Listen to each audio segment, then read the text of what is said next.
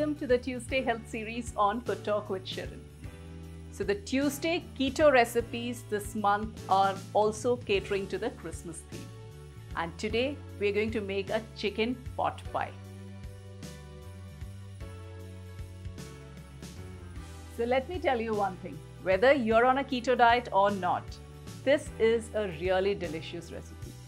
Now, when I made it for the first time, it just disappeared in no time. So I was like, oh, so I don't need to go through the hassles of making the crust the way a normal pot pie crust is made.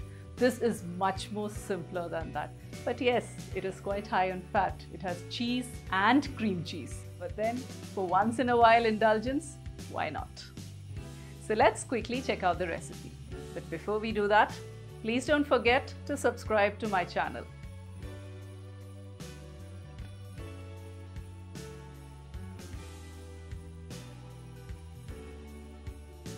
Let's start with making the filling for the pot pie.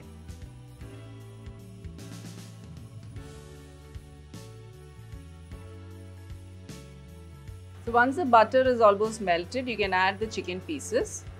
I've used boneless chicken here and I've cut it into small cubes.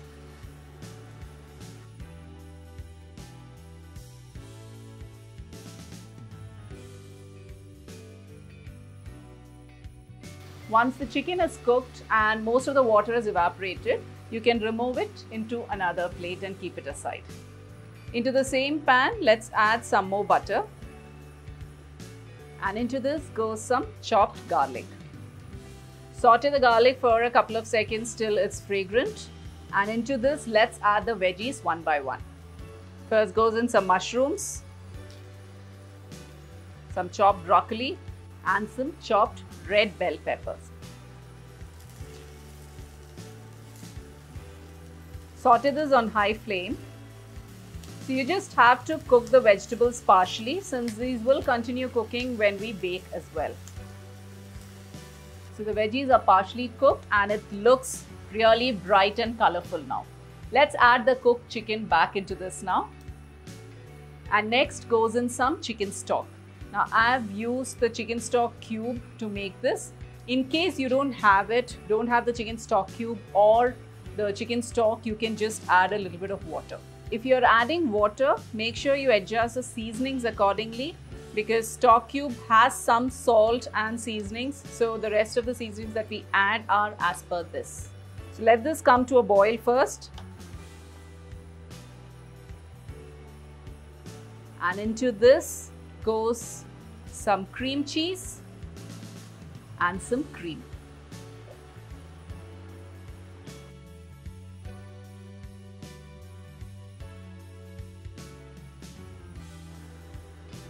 Let's also add in some seasoning now. Chili flakes and some Italian seasoning. So this you can adjust as per your taste. Let this boil and thicken a little before you take it off heat. Let's also add in some salt and pepper.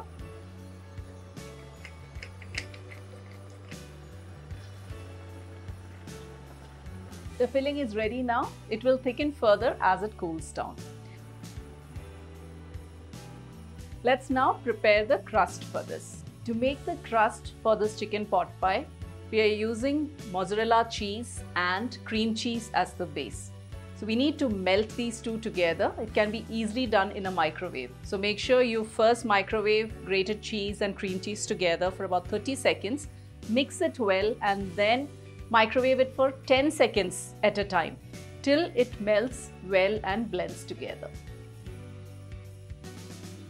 So this is how it looks when melted and into this I'm going to add some almond flour. If you feel it's cooling down, please microwave for a few seconds and it'll again come together like a beautiful dough.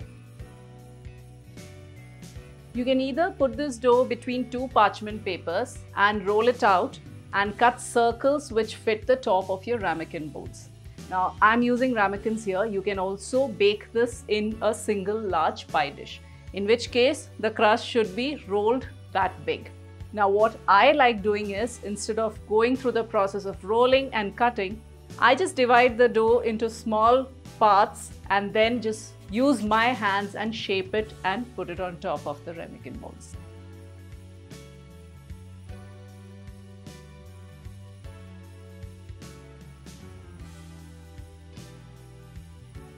From the dough that we just made, I've taken a small portion.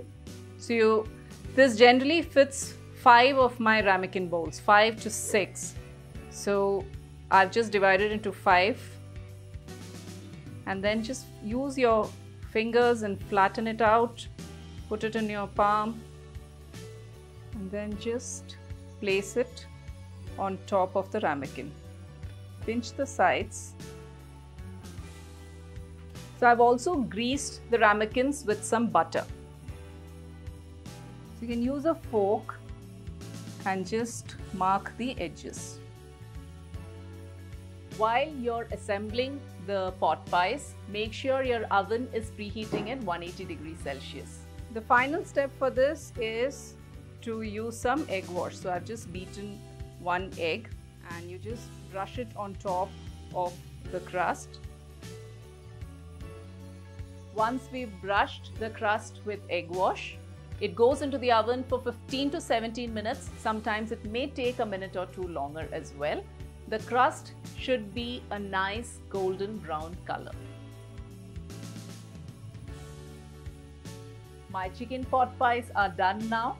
You just don't need anything else to enjoy this. It makes for a delicious meal by itself.